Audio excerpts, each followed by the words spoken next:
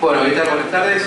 Eh, la verdad que, Roberto, no me imaginaba nunca eh, tener que debutar con un nuevo equipo, conocer un auto totalmente distinto a lo que uno venía manejando, eh, un auto nuevo, tratar de sacarle todos los vicios y hacer la primera tanda, no tener problemas, la segunda tampoco y estar peleando siempre en los primeros puestos, ya empezó a, a marcar un camino a que podíamos ser protagonistas con la. Así que, pero bueno, creo que es el mérito de todo un equipo, de Ulises, de Alfredito, de todos los chicos, de Leo, Carlitos, toda la gente de Peugeot que realmente me dio su oportunidad de estar arriba de un auto.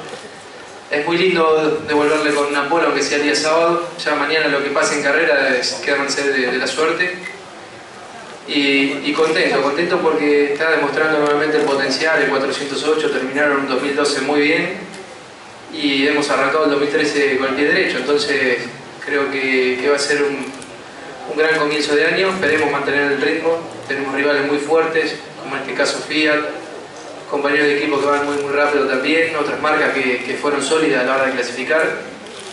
Y en nuestro caso, bueno, realmente palabras de agradecimiento hacia el equipo, creo que es parte de todo esto.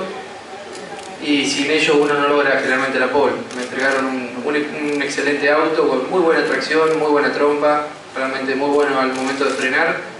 Y a la hora de trabajar, que tuvimos muy poquito tiempo en el día, nos, nos comunicamos muy bien. Y esa fue la clave, creo que hicimos un cambio clave para la clasificación, para mejorar la tracción y el auto lo demostró, entonces acá estamos realmente disfrutando, aprovechando de este sábado.